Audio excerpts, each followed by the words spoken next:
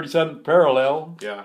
and uh, I got I don't know how long they've been negotiating to right there to 37th, but they exchanged prisoners. hmm Matter of fact, the guy I used to run around with when I was a kid, old Buckles, he was a, he was a prisoner. And uh, and yeah, of course, you in the Navy, you don't hmm you have to. Um. So they they call it the Forgotten War. Probably heard about that. Uh, when you came home, did you? How what was it like to come home? Was there like a celebration, or did it feel Oh, any it's no different? big, you know, it went, went, come home, go to work. Yeah. no, there wasn't no celebration, but Yeah.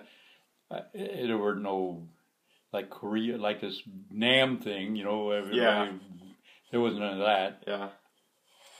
I mean, actually, they were the north. The north did invade the south, but then we didn't have to invade the north. hmm Yeah. So Of course, you know MacArthur got fired. yeah, because everyone was so he, was, mad. At he was going to nuke China. It showed Yeah. how brilliant they are. Yeah, he was just going crazy, wasn't he? Like He, to a make- nutcase. make everyone think he was crazy and was actually gonna start nuking people. Um, how was it to come back after the war? Like, did you what did you do after? Were you um, how did what did you work? Who did you work for? What did you do as a Well, it took me a couple months, uh, just horsing around until some guy quit.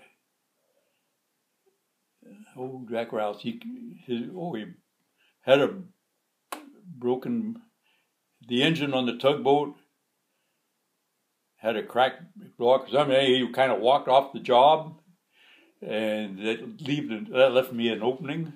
Mm-hmm. so I got I started went back to work and so you were able to find work pretty easily when you got back and oh yeah we